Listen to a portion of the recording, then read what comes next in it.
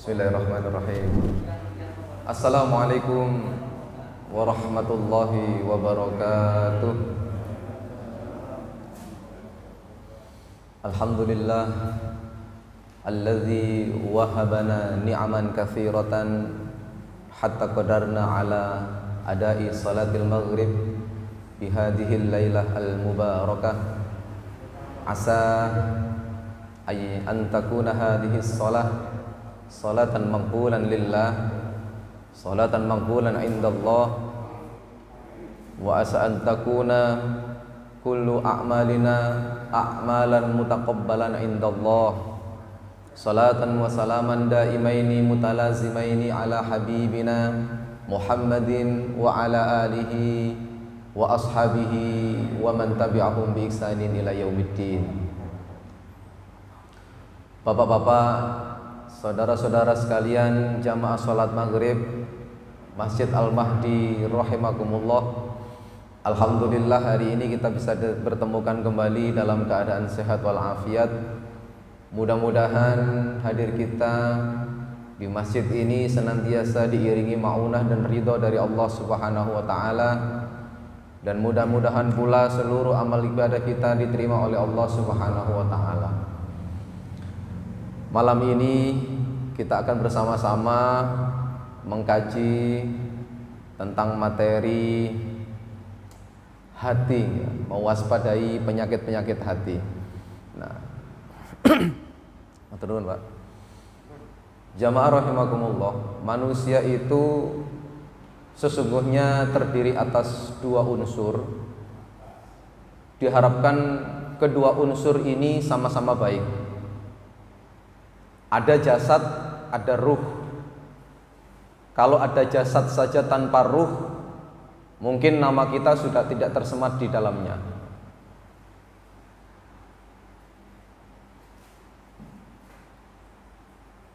Ada ruh tanpa jasad, itu pun juga tidak dikatakan manusia. Namun pada kesempatan singkat ini Mari kita sejenak merenungkan firman Allah dalam Quran surat Qaf ayat 16 17 dan 18. A'udzu billahi minasyaitonir rajim. Walaqad khalaqnal insana wa na'lamu ma tuwaswisu bihi nafsuh wa nahnu aqrabu ilaihi min hablil warid. Dan sungguh kata Allah, kami telah menciptakan manusia dan mengetahui apa yang dibisikkan oleh hatinya dan kami lebih dekat kepadanya daripada urat lehernya. Bapak-bapak minta tolong kita langsung praktek kita pegang urat leher kita, Pak. Masih punya urat leher, Pak? Masih, masih berdetak. Masih ada aliran darah yang mengalir. Kira-kira kalau hari ini kita duduk berdekat-dekatan dengan jamaah kanan kiri kira kita, itu kita lebih dekat dengan saudara kita atau lebih dekat dengan urat leher kita Pak? Tentu jawabannya adalah urat leher kita. Nah Allah mengatakan Allah itu lebih dekat daripada urat leher itu. Nah kalau urat leher saja kita, kita ini sudah paling dekat dengan kita. Lantas gimana Allah? Fa'ain Allah. Nah, ini tepat di sini itu ada yang berdetak-detak. Ini urat leher kita. Nah. Sehingga apa pun yang terbisikkan, kita bisikkan dalam hati kita yang orang lain tidak sanggup mengetahui apa yang ada dalam diri kita, Allah Subhanahu wa taala mengetahuinya. Maka marilah apa pun yang berdetak pada hati kita itu yang baik-baik saja. Sebab ketika kebaikan itu berdetak pada hati kita dan Allah mengetahuinya, katakanlah itu sebuah niatan baik untuk melakukan amalia solihah, maka itu sudah dicatat sebagai niat beramal soleh di hadapan Allah Subhanahu wa Ta'ala. Tetapi ketika dalam diri seseorang terdetik dalam hatinya ingin melakukan sebuah kemaksiatan atau keburukan, Allah belum menuliskannya sampai orang ini betul-betul melaksanakan apa yang menjadi keinginannya. Nah, idh yatalaqqal mutalaqqiyan 'anil yamin wa 'anil shimali qa'id. Dan ingatlah ketika dua malaikat mencatat perbuatannya, yang satu duduk di sebelah kanan dan yang lain ada di sebelah kiri. Selain Allah memonitor diri kita ini melalui Allah sendiri, Allah juga memasang dua orang malaikat yang senantiasa duduk di samping kanan kita dan duduk di samping kiri kita. Inilah kemudian yang kita sebut dengan mayal fizu min kauni illa ladaihi raqibun atidun. Maka yang kanan ini adalah raqib dan yang kiri adalah atid. CCTV itu penterjemahan kekuasaan Allah yang luar biasa. Kalau dulu kita beranggapan bahwa apa iya Allah sanggup merekam seluruh aktivitas manusia? Apa iya Allah sanggup setiap detik itu tidak terlewatkan? Sedikit demi sedikit Allah buka kekuasaannya dengan kemajuan-kemajuan teknologi yang ada di sekitar kita. Muncullah yang namanya CCTV. CCTV itu merekam setiap detik gerak-gerik kita di dalam masjid atau di sekitar CCTV mana yang dia sorot. Sewaktu-waktu kita ingin memutar kembali pada hari kemarin, hari Jumat pukul 12.00 ada apa? Orang lain tidak tahu, sorotan CCTV pasti valid akan menyampaikan informasinya. Demikian pula dengan yang namanya Rokibun Atidun. Bisa jadi orang-orang yang ada di sekitar kita tidak mengetahui apa yang yang kita lakukan, apa yang kita kerjakan. Namun yakinlah bahwa kita nanti akan menerima satu rapot yang tidak akan pernah mengurangi timbangan kebaikan dan keburukan yang kita kerjakan. Oleh karenanya, marilah kita bersungguh-sungguh di dalam melewati kehidupan-kehidupan yang kita miliki ini supaya menjadi orang-orang yang bertakwa dan mawas diri. Nah, indahnya jasad ini, baiknya tubuh ini memang dibutuhkan. Innallaha jamil yuhibbul jamal. Allah itu indah dan mencintai keindahan. Maka kita harus betul-betul amanah dengan tubuh yang Allah berikan kepada kita ini. Mulai dari ujung rambut sampai ujung kaki, kita betul-betul perhatikan kalau rambut sudah panjang, sampun kumus-kumus, nah, sikap kita yang terbaik adalah potong rambut, Pak. Kalau yakin dengan rambut yang agak panjang lebih keren, ya monggo dipanjangkan, tetapi kemudian dirawat sedemikian rupa dengan baik. Telinga kita dibersihkan ya, setiap sepekan sekali pun boten dibersihkan belas setahun kira-kira biji kurma akan keluar dari telinga kita secara otomatis. Kuku kita semua, maka beberapa sunnah-sunnah di hari Jumat itu adalah memotong kuku, memotong beberapa rambut yang Allah sunnahkan, yang Rasul sunnahkan itu. Nah, baiknya jasad ini, indahnya tubuh ini ternyata bukanlah dasar Allah menilai kita sebagai manusia. Innallaha la yanzuru ila ajsamikum wala ila suwarikum walakinallaha yanzuru ila qulubikum wa a'malikum. Pakaian yang indah ini tidak akan pernah berharga di hadapan Allah. Jasad yang indah dan tampan dan gagah ini tidak akan pernah bernilai di hadapan Allah tanpa diikuti hati yang baik, tanpa diikuti dengan amal perbuatan yang indah di hadapan Allah Subhanahu wa taala. Maka dari itu dari sahabat Nu'man bin Bashir radhiyallahu anhuma anna Nabi sallallahu alaihi wasallam qala ala wa inna fil jasadi mudghah idza salahat salahal jasadu kulluh wa idza fasadat fasadal jasadu kulluh ala wahyal qalbu.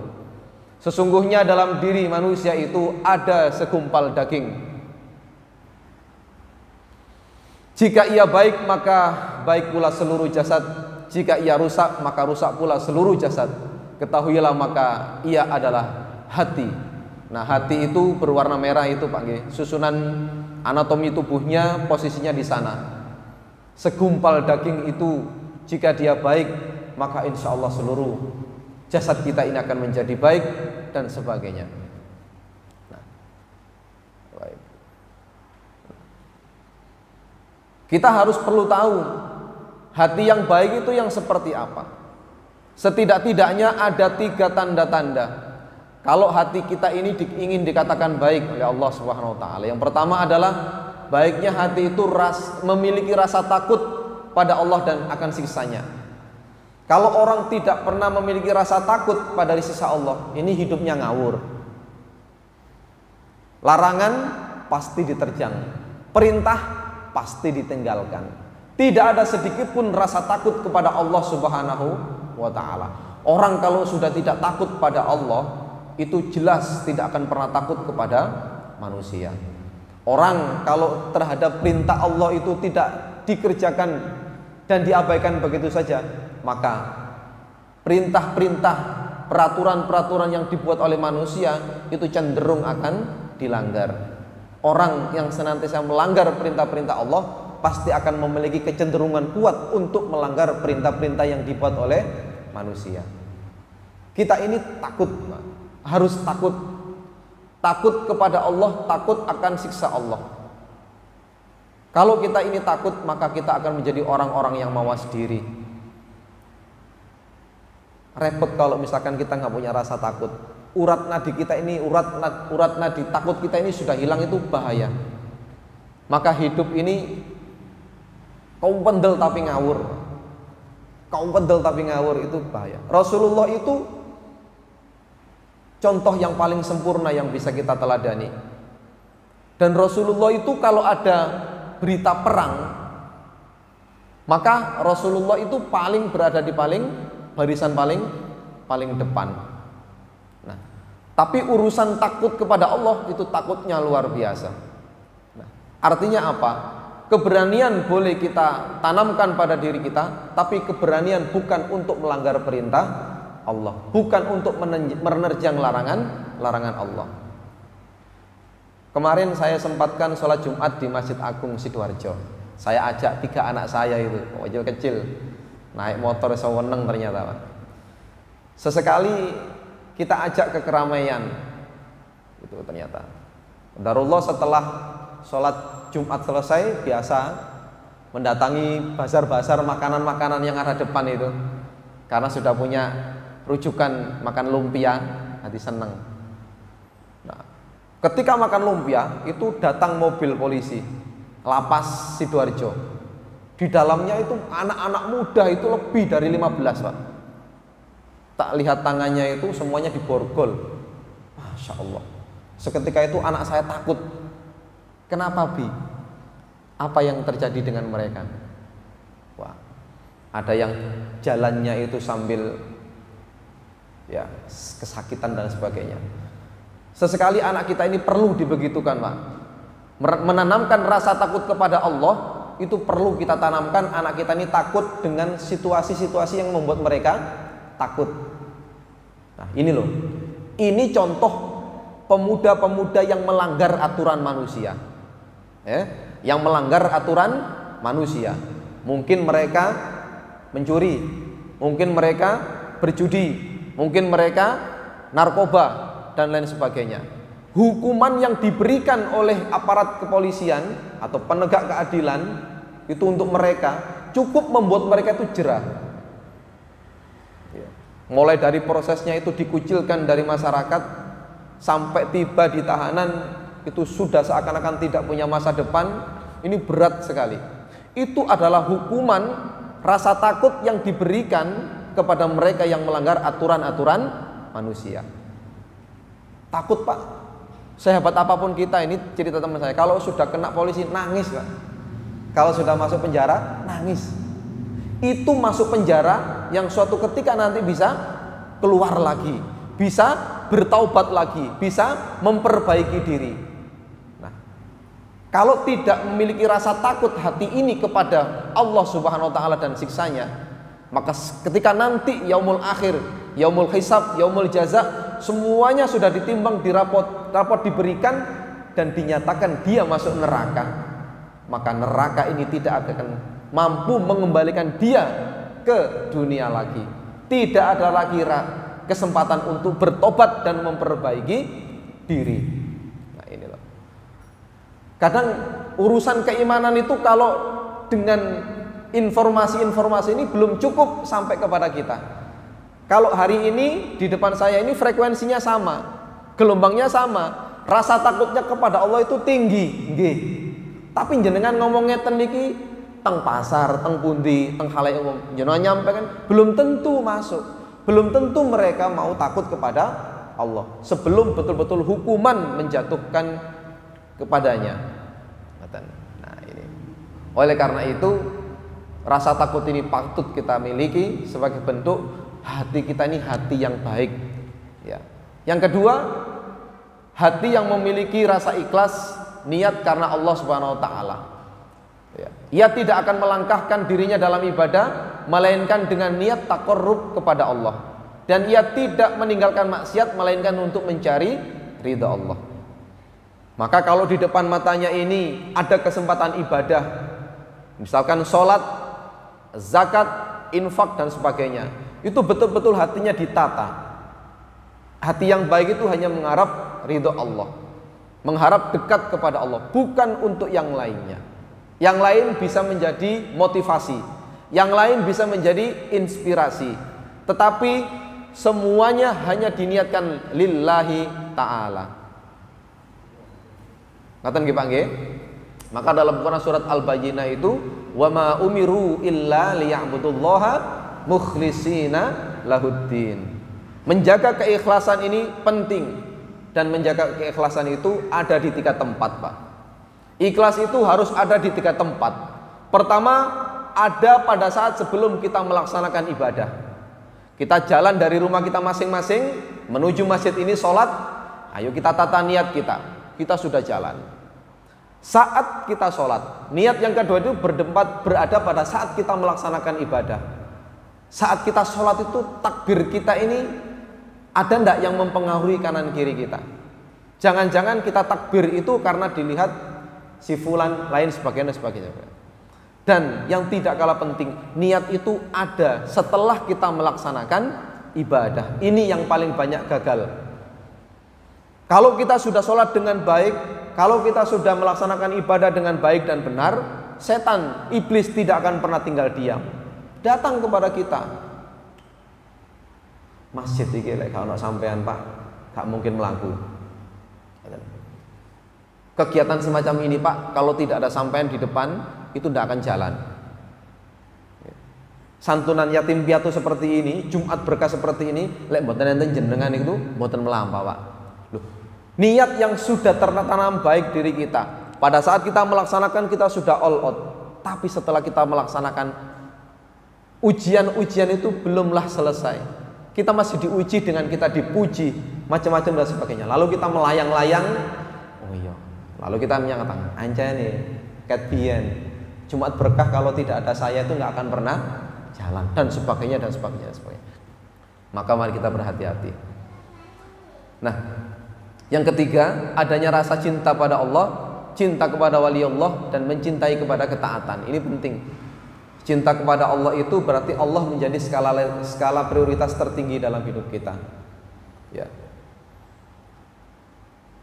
dalam kata-kata mutiara Arab itu indah sekali. Ahbib habibaka haunan ma asa ayyakuna baghidaka yauman yauman ma. Wa bughid baghidaka haunan ma asa ayyakuna habibaka yauman ma. Cintai apa-apa yang kau cintai sekedarnya saja. Bisa jadi yang kau cintai ini suatu saat akan menjadi musuh bagimu. Dan perangi, bencilah sesuatu itu sekedarnya saja Sebab bisa jadi yang sedang kau benci hari ini suatu ketika akan menjadi sesuatu yang paling kau cintai. Cinta kepada manusia, cinta kepada benda, cinta kepada apa pun, kepada makhluk itu semuanya akan memiliki sesuatu yang bersifat relatif dan naik turun. Tapi cinta pada Allah itu menempatkan diri kita pada hamba yang paling dicintai olehnya. Cinta kepada Allah itu, Pak. Orang kalau cinta itu kan pertama sering menyebut namanya, Gini mboten? Kalau kita cinta pada anak kita, maka yang kita ceritakan kepada siapa pun yang kita temui pasti anak-anak kita.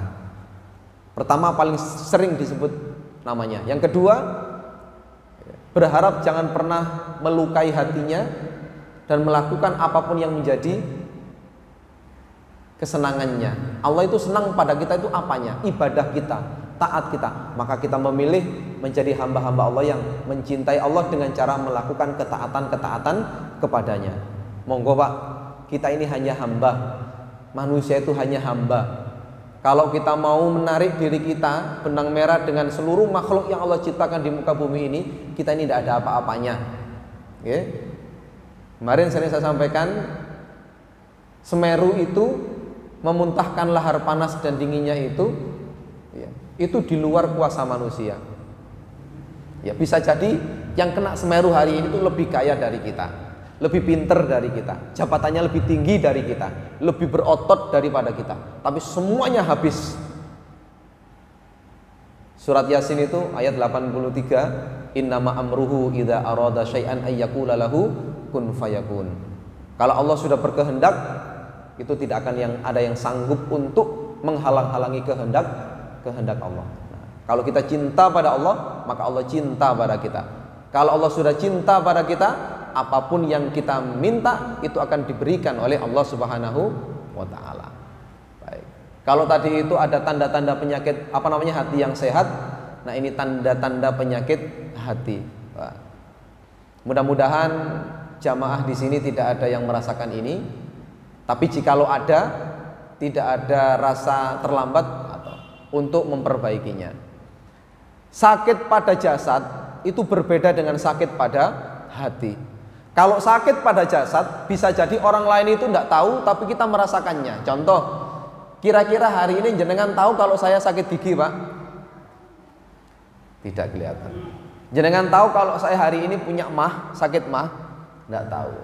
Jenengan tahu kalau hari ini saya mules? Tidak tahu. Yang tahu adalah yang punya jasad. Keuntungannya itu sudah banyak rumah sakit-rumah sakit, klinik-klinik, obat-obat dan sebagainya. Relatif cepat untuk diatasi. Sakit A, obatnya A, datang ke sana, selesai. Tapi kalau penyakit hati, kalau penyakit hati bisa jadi yang memiliki penyakit hati itu tidak tahu. Tapi orang-orang yang ada di sekitarnya ini mengerti lebih awal. Kita ini angkuh, kita ini sombong, kita ini susah bergaul, kita ini tidak mau dinasihati orang, itu yang tahu paling cepat adalah orang-orang yang ada di sekitarnya. Dan bisa jadi yang menderita penyakit hati ini tidak sedang merasakan. Parahnya yang kedua, tidak banyak secara fisik dilihat di mana tempat untuk menyembuhkan penyakit penyakit ini. Oke. Oleh karena itu mari kita mewaspadai sedini mungkin ngecek hati kita. Yang pertama, tanda-tanda penyakit hati itu malas mengerjakan berbagai macam ketaatan. Yang paling sering itu di grup-grup WA itu, Pak. Ya, di grup WA itu ya sudahlah kita nasionalis aja. nggak usah bawa-bawa agama di grup ini. Ya, ringan-ringan saja. Es guyon toh. Kadang-kadang yang maksiatnya paling dominan.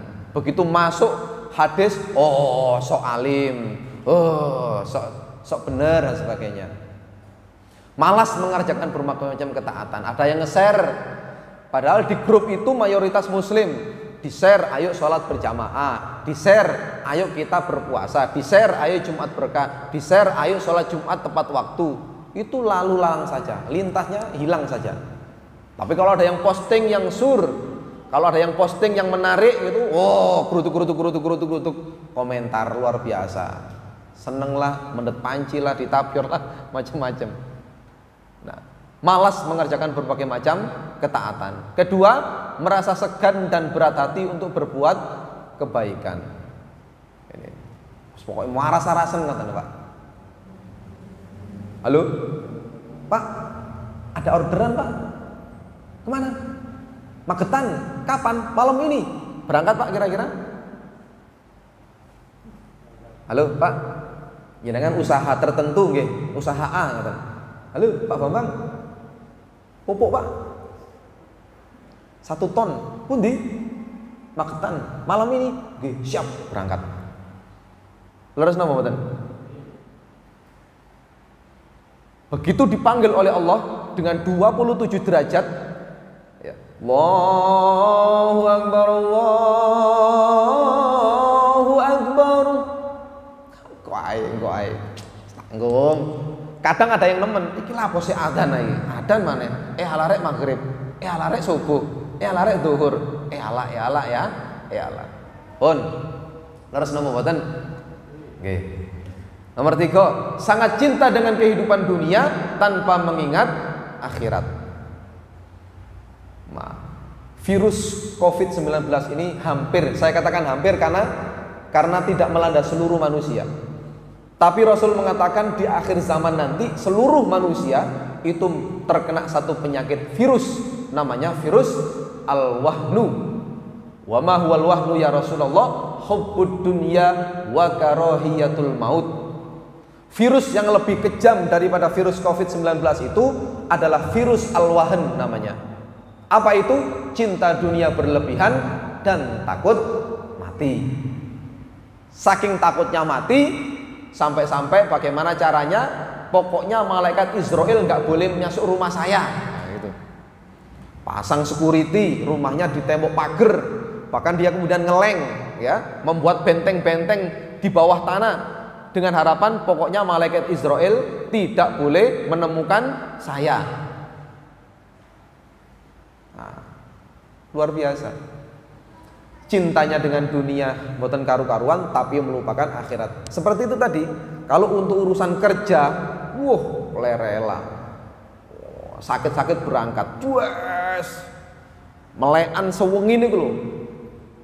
Kelakon ya. Tapi untuk ibadah itu tidak seimbang.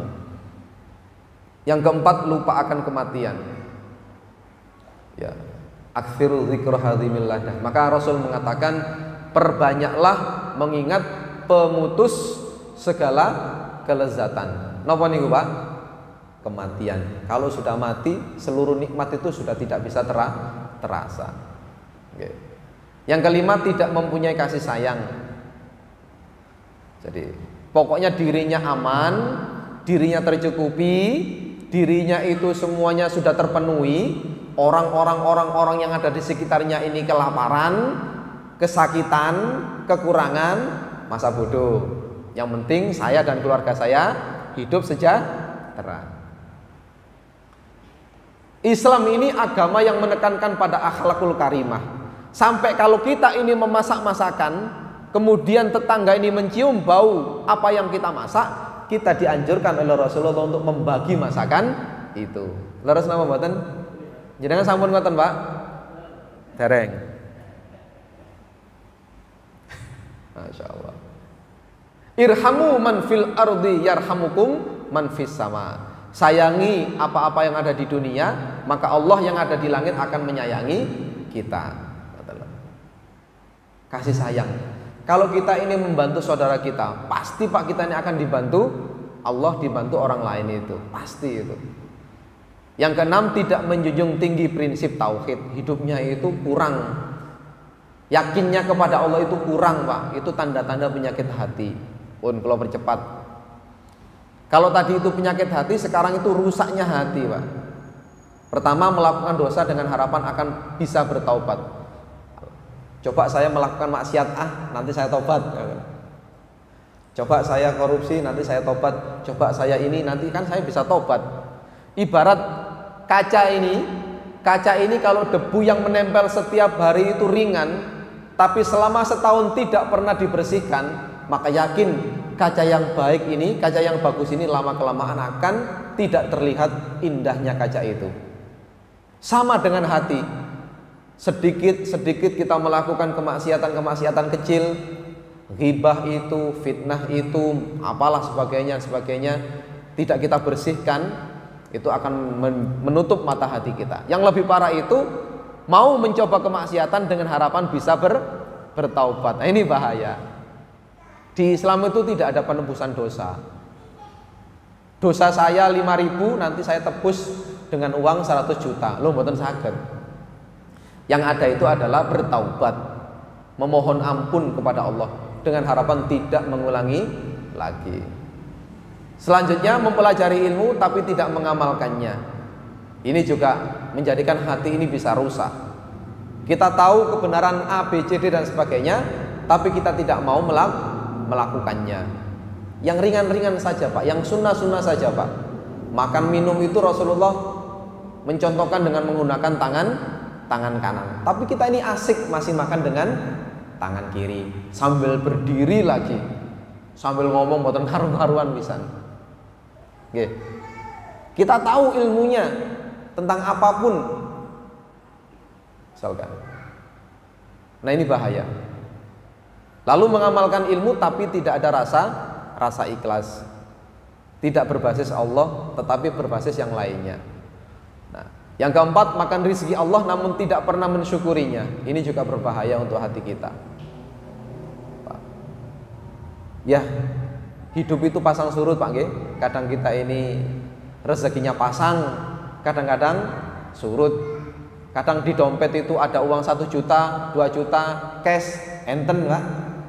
Kadang-kadang sepuluh ribu maupun wonten, wonten enten. Pada motor gena, gena ngoten. Lah kok wani banter-banter, oh, peti bensine. Teh, enten Pak. Ngoten niku. Kadang kita makan itu makanan kita sisakan sedemikian rupa, tidak kita makan karena kita makan belinya terlalu banyak. Tapi sesekali nanti pasti pasti pernah itu kita nggak bisa beli. Jangankan beli ya, ya makan yang kita makan hari itu saja kita nggak belum pernah mengetahuinya bisa makan atau tidak. Begitu pak. Manusia itu pasang surut. Tidak ada yang selalu di atas, tidak ada yang selalu di bawah. Tapi yang bisa selamat dari kondisi itu adalah orang yang bisa bersyukur dan bisa bersabar.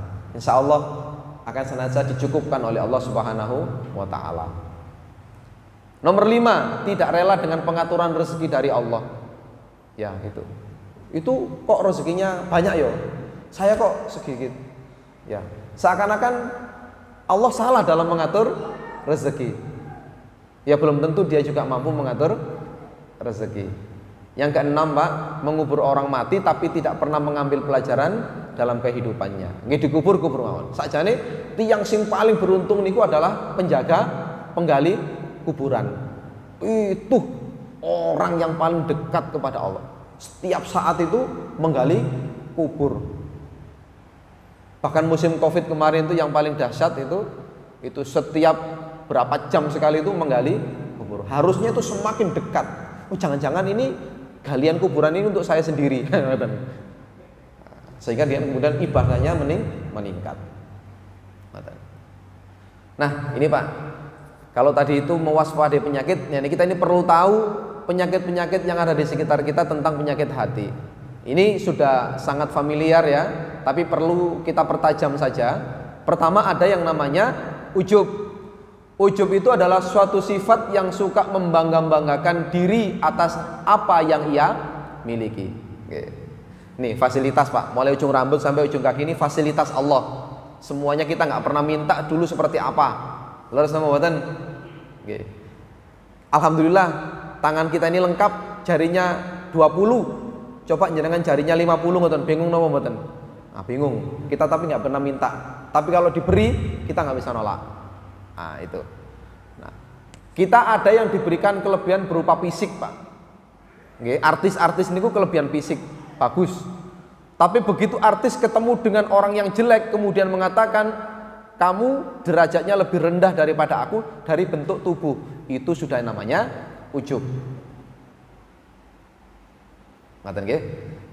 Ada yang hari ini diberikan ilmu, lalu ilmunya ini menjadikan dirinya ini berbangga kepada dirinya dan mengatakan kepada orang yang tidak berilmu, kamu derajatnya lebih rendah daripada saya di hadapan Allah karena kamu tidak mengetahui A, B, C, D dan sebagainya sementara aku bisa.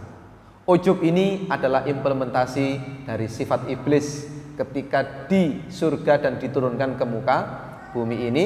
Kemudian iblis di, dilaknat dan dinas oleh Allah menjadi penghuni neraka karena ujubnya itu. Yang kedua takabur, seorang yang merasa bangga pada dirinya serta pada apa yang dimilikinya dan memandang rendah pada orang lain. Nah, itu tadi. Kalau kita sudah ada perasaan merendahkan orang, dia derajatnya lebih rendah daripada kita, maka kita sudah terjangkiti penyakit takabur. Ada yang ketiga namanya penyakit riak, Pak. Seorang yang berbuat kebaikan dengan niat untuk berbangga dan menunjukkan kepada orang lain perbuatan itu kurang kurang pas kalau tidak dilihat orang lain. Melakukan A, B, C, D, E, F, G, H, I, J, K, L, M, N itu kalau nggak dilihat orang itu kayaknya ada yang kurang. Maka hati-hati Pak. memviralkan kegiatan-kegiatan ibadah itu hati-hati. Oke? Memviralkan kegiatan-kegiatan ibadah itu hati-hati kalau niatnya salah. Jangan-jangan kita terjebak dalam riak ini. Kerja bakti membersihkan masjid di foto cekrek cekrek cekrek cekrek cekrek diupload di status. Lalu ada orang yang membaca status kita tapi nggak ngomen apa-apa. Kita jadi sedih. Ya larek, sudah saya posting tapi nggak ada yang komen like, nggak ada yang mengapresiasi. Kita sudah terjebak pada penyakit yang namanya riak. Nanti kita kecanduan, Pak. Apa pun itu pasti akan diposting. Apa pun itu.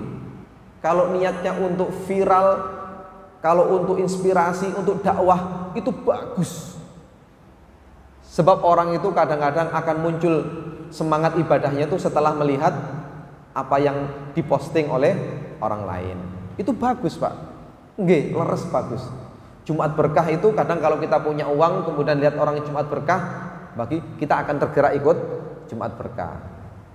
Oke, tapi hati-hati bagi kita sendiri, khususnya bagi yang menyampaikan supaya tidak terjebak pada sifat yang namanya ria. Yang keempat, sum'ah. Sum'ah itu adalah sifat yang suka apabila amalan kebaikannya didengar orang serta mendapat pujian dari amalan yang dilakukannya. Inginnya dipuji, Pak. Ini hati-hati, Pak. Ya, saya juga berlindung dan yang lebih parah adalah yang ketiga yang namanya hasad. Itu ada tiga keburukan sekaligus ada dalam hasad. Hasad adalah orang yang tidak suka melihat kebahagiaan orang atau kebaikan yang dilakukan oleh orang lain. Pertama, rasa tidak suka. Si fulan contohnya Pak Nas. Pak Nas ini muazin sini. Azan gitu. Ada orang ini Pak Nas itu suaranya kayak enak ngono azan aku po suaranya rada enak kok gak tau dikongkon azan hasad tidak suka melihat kebahagiaan atau kebaikan yang dilakukan orang lain. Kebaikan ke, keburukan yang kedua adalah serta mengharapkan agar perkara tersebut hilang. Loh Pak. Dia diberikan rezeki oleh Allah kelebihan oleh Allah. Pertama dia tidak suka. Dan yang kedua berharap itu kebaikan-kebaikan itu kelebihan-kelebihan itu hilang darinya.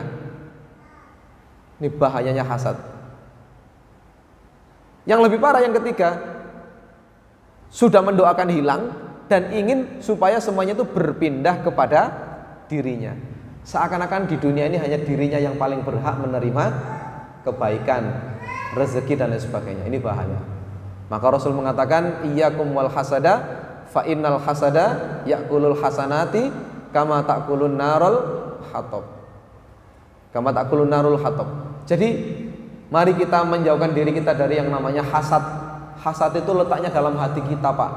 Karena di dalam hati maka sulit kalau kita tidak betul-betul istighfar mendekat kepada Allah. Ini kita nggak tahu hasad kita ini sudah kronis atau tidak. Kita nggak pernah tahu dengki kita ini sudah stadium berapa. Kita nggak pernah mendeteksi. Ya. ya.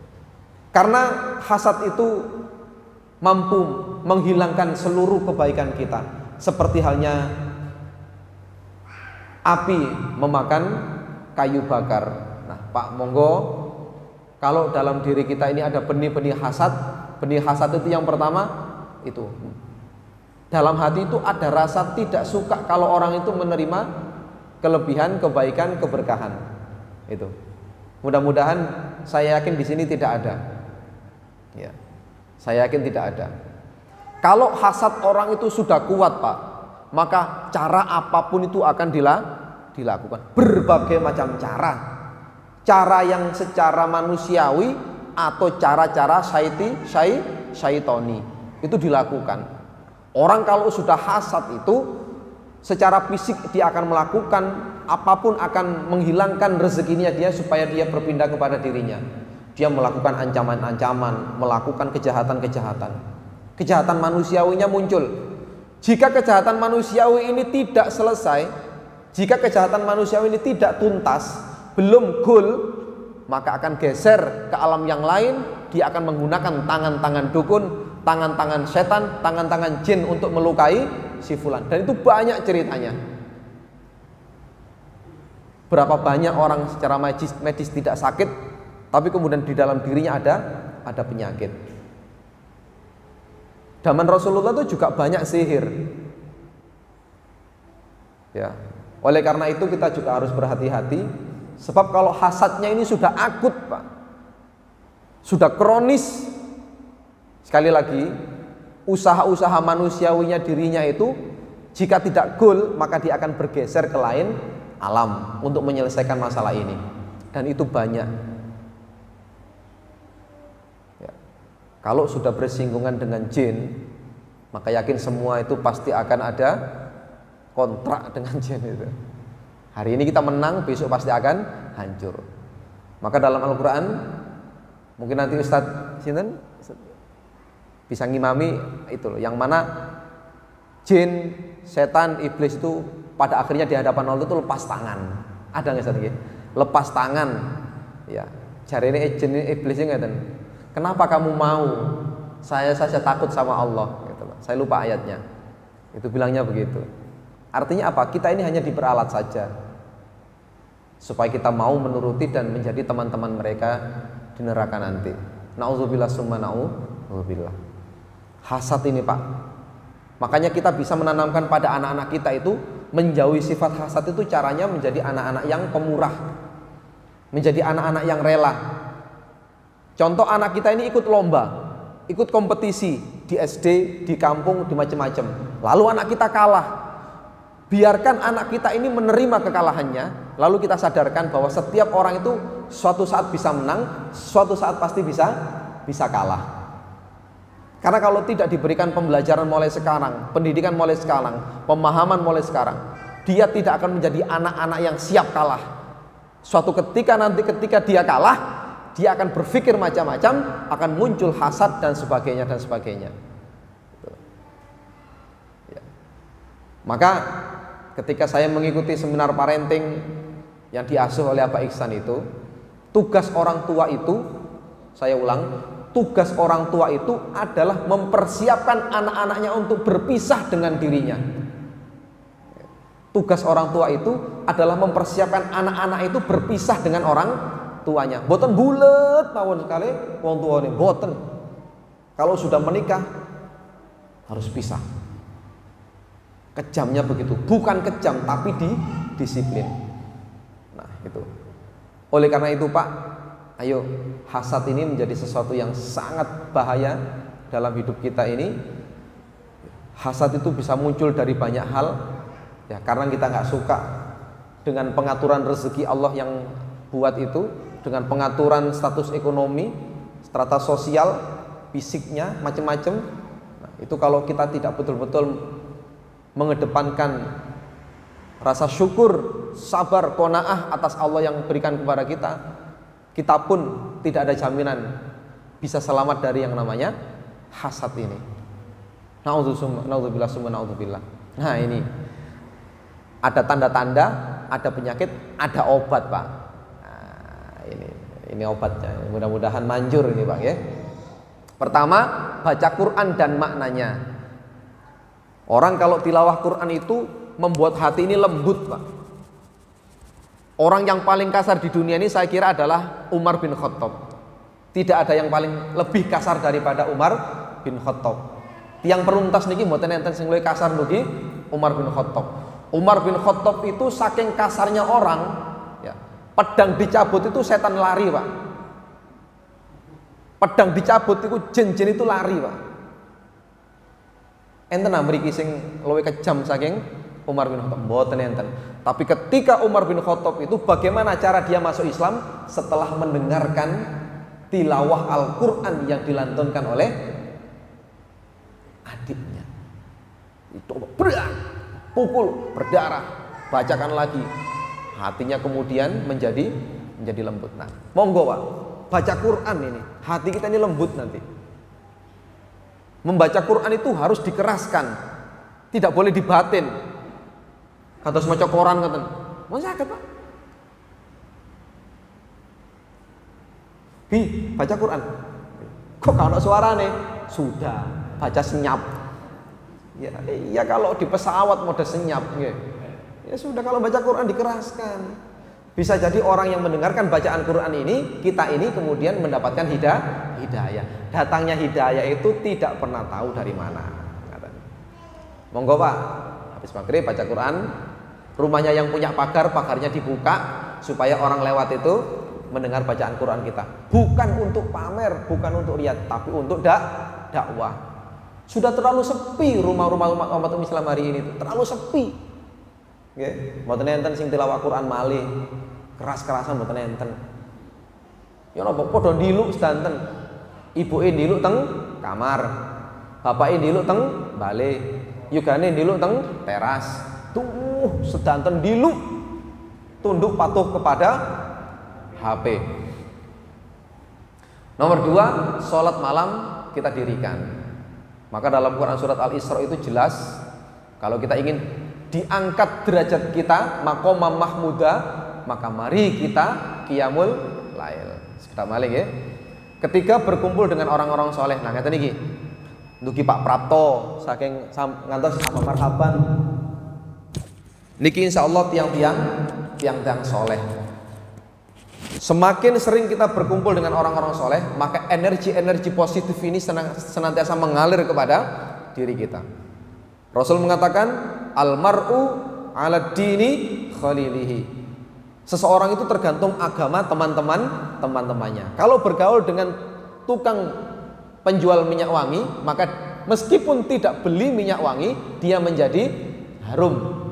Kalau berteman dengan tukang las, meskipun tidak beli pagernya, jenengan kekenging percikan apinya sama. Ayo Pak, dicari tiang-tiang soleh niki dicari pak supaya energi positif kesolehan itu mengalir pada diri diri kita. Yang keempat memperbanyak puasa. Kita ini nggak jauh beda dengan Nabi Muhammad. Nabi Muhammad itu apa sedikit-sedikit puasa. Kita ini sedikit puasa.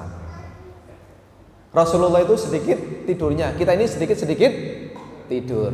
Tahu pak Mboten tebe kula niki kalau kalau panjenengan kali Rasulullah nih. Rasulullah sedikit-sedikit sedikit tidurnya kita ini sedikit-sedikit tidur. Rasul itu banyak puasa kita ini sedikit puasanya. Puasa itu menjadi bening, menjadi tentram, jernih pikiran kita. Maka hebat sekali. Banyak yang hari ini mengamalkan puasa Daud itu juga boleh, itu juga disunahkan tapi puasa ngebleng 40 hari 40 malam nggak maem, nah itu tidak dibenarkan. Yang kelima zikir malam perbanyaklah, perbanyak istighfar, ya, perbanyak istighfar. nah, saya ini yang terakhir, nah, saya buka doanya saja. Yang terakhir, untuk menjadikan hati kita ini baik, ini ada doa yang Rasul contohkan, ya muqallibal qulub sabit kolbi ala dinika. Mudah-mudahan Allah tetapkan hati kita ini pada hati yang memiliki ketaatan, ketetapan kepada agama Allah. Kalau sudah memilih menjadi orang baik, godaannya pasti banyak, kesibukannya pasti banyak, tapi kita berdoa mudah-mudahan bisa istiqomah. Saya kira itu Pak yang bisa kami sampaikan pada kajian malam hari ini. Mudah-mudahan hati kita ini adalah kolbun yang salim, kolbun yang bersih, hati yang benar-benar memiliki ketetapan iman dan takwa kepada Allah Subhanahu wa taala. Atas segala kekurangan mohon maaf dan segala kebelian hanya dari Allah Subhanahu wa taala. Nasrul minallah wa fathun qarib wa basyiril. Marilah kita akhiri dengan bersama membaca hamdalah Alhamdulillahirabbil alamin dan doa kafaratul majlis. Subhanakallahumma wa bihamdika asyhadu an la ilaha illa anta astaghfiruka wa atubu ilaik. Wassalamualaikum warahmatullahi wabarakatuh.